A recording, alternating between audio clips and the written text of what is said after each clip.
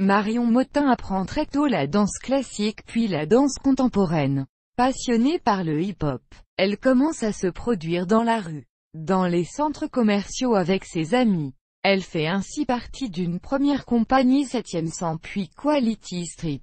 Danseuse professionnelle, elle accompagne sur scène M.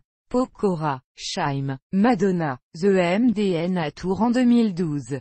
Participe au clip musical de Robbie Williams, Rude Box, 2006, et aux chorégraphies d'Angelin Préljocage.